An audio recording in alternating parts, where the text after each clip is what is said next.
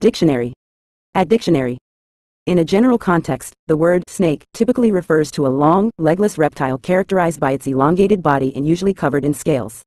Snakes are found in a variety of habitats worldwide and come in many species, some of which are venomous while others are not.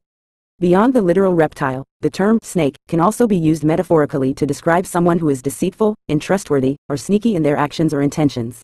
This metaphorical use implies that a person is sly or dishonest, much like the way some snakes are perceived in nature due to their stealthy behavior.